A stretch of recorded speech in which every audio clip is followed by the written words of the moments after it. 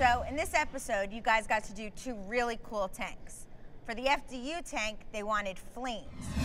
First thing you see is this spectacular fish tank.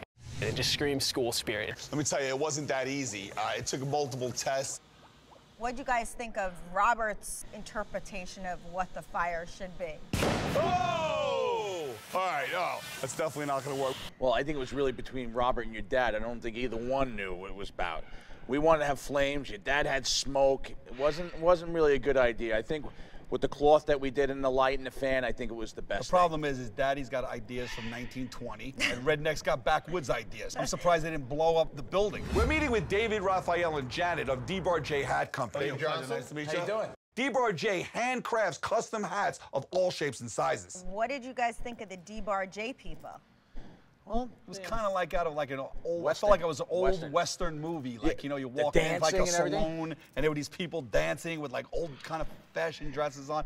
You know what was really cool? It was really interesting learning about the hats, how they made them from scratch, they stretch them, those old, old machines. And you know what? I thought that part was really cool. I like that part. What are we missing? Cowboy hat. There you go. That only leaves one thing. Hat. Come on, dude. No.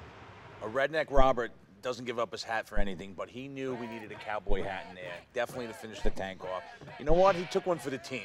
I think he wanted to give it up. That hat was old and raggedy. He was looking forward to getting a new one. What are you kidding me? Don't put it past him. He ain't no dummy.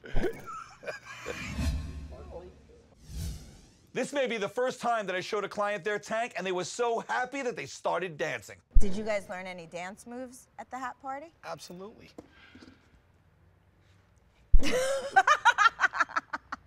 What do you think, huh? Huh? I'd sit back down. Hey, dude, I'm looking for the uh, black bag that the ribbon came in. The stage house said it was here. It's for the wrap. I think there's a black bag right over here. Over here, where? Yes, this is it. Okay, great. Thank you, brother. Brett actually was hustling a little bit. He was sweating he was- bullets. he was breaking his sweat looking looking for the ribbon to go around. Uh-huh. You, you had to see he was cursing in, in the car. Come on, let's go, beeping the horn. The New Yorker was coming out. It was. We're here installing an aquarium for your student center. They brought me in today to uh, give you guys some advice about small businesses. So Brett, how'd your lecture at FDU go? Went really well. Did a great job.